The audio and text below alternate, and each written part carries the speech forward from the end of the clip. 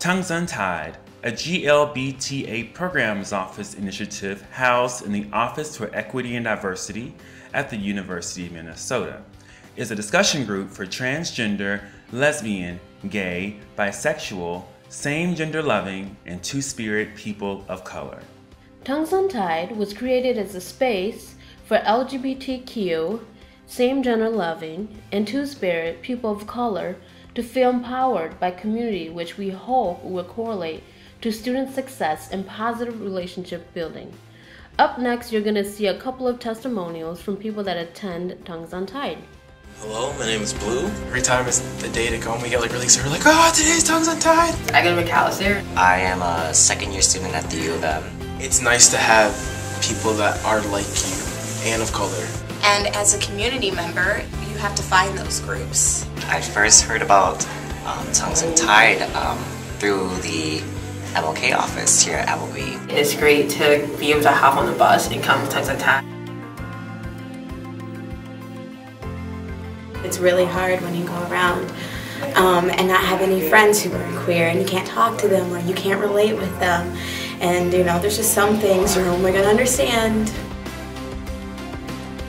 Hear of other people of color who may not be of the same race as you but are going through similar things. I like to support Tongues Untied because it's one of the only platforms in the Twin Cities for people of color that identify as GLB or T or somewhere on that spectrum can come and talk about uh, what's going on in the community, learn lessons about communities that might not be specific to your racial or ethnic background. It's just really nice to have a sort of a a community, uh, just a group of people around. The reason why I like Tongues Untied is because it brings me, it gives me the opportunity to be among people of color and also GLBT people of color and I never had that opportunity as a student um, mainly because it was in the development when I, by the time I was leaving undergrad but it's really amazing to see students do it and then also they encourage staff members to be among students to really have these great conversations.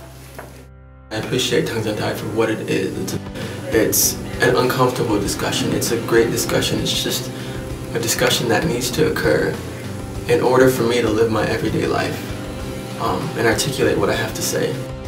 This is probably one of the only spaces where I can come and talk about my experience of being a queer um, person of a color. We have a very small amount of students of color.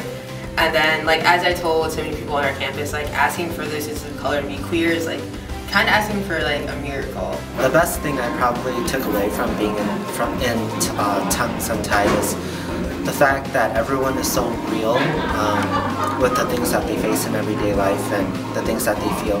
You don't realize how important spaces are until you find them. I would have never thought that I needed a space like this until I found it. When you don't have it, life's just not that good, I guess would be the right word.